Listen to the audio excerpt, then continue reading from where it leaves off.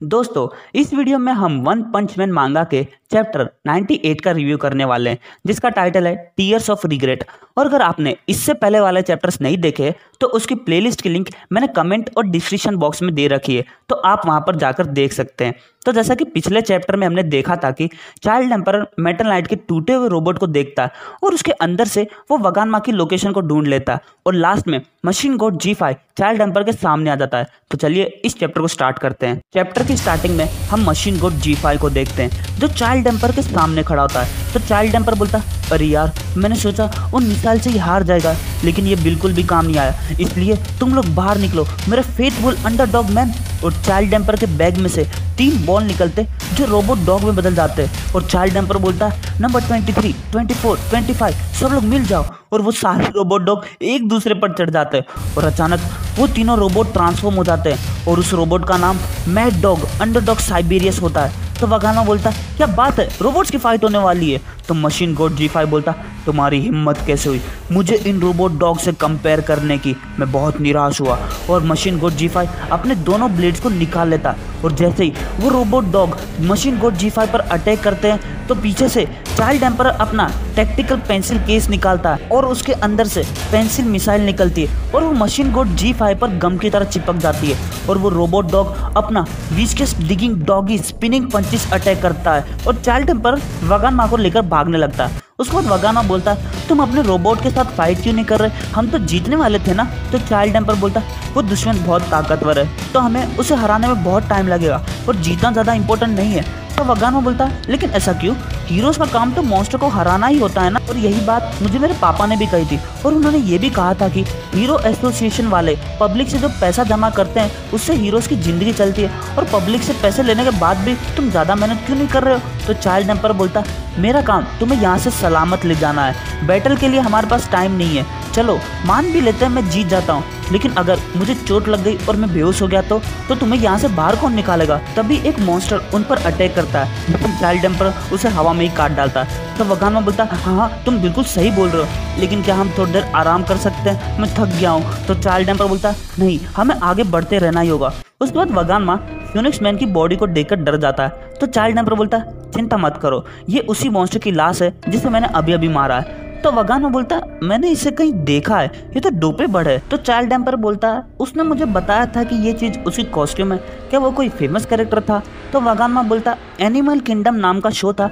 जिसमें डोपे बड़ का कॉमेडी कैरेक्टर था, लेकिन उस शो में कुछ ज़्यादा ही डार्क कॉमेडी थी, जिसके कारण वो शो बंद हो गया, डोपे बड़। बार बार मर जाता, क्योंकि वो बहुत बड़ा स्टूपिड था। तो चाइल्ड एम्पर बोलता, क्या बार बार मर जाता था?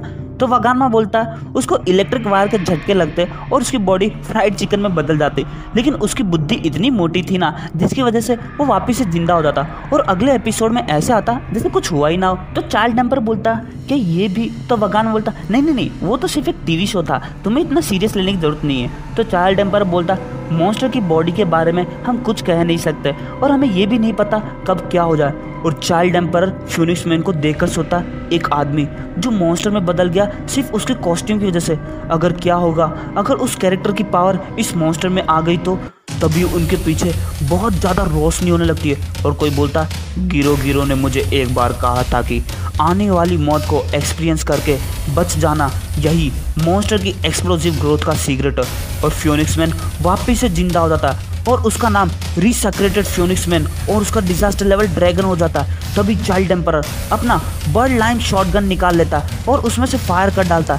लेकिन फ्योनिक्स मैन अपने पंख से उन सभी बुलेट्स को वापस से चाइल्ड एम्पर की तरफ़ फेंक डालता और वो हवा बहुत गर्म होती है। तो चाइल्ड एम्पर वगामा और खुद को अम्ब्रेला से कवर कर लेता। और चाइल्ड एम्पर उस अम्ब्रेला से बाहर निकल जाता और बोलता, इस पर आग का कोई असर नहीं पड़ेगा। तो इसके अंदर ही रहना। तो वगाना बोलता, ओए, तुम क्या करने वाले हो? मुझे अकेला मत छोड़ो। और चाइल्ड एम्पर सोचता, मेरे पास और डॉग में नहीं बचे हैं तो और कोई रास्ता नहीं है। मुझे ही फाइट करनी होगी। और चाइल्ड एम्पर अपने टूल्स को निकाल लेता और बोलता, मैं इसे हराऊँगा। वो भी एक और बार।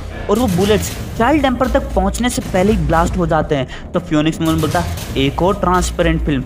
चलो, बदले का टाइम आ गया। मैं एक बार फिर से अपनी बीक अटैक का इस्तेमाल करूँगा। तो चाइल्ड एम्पर बोलता है ऐसा कॉन्फिडेंस वो भी एक बार हारने के बाद? तो ठीक है, आ जाओ।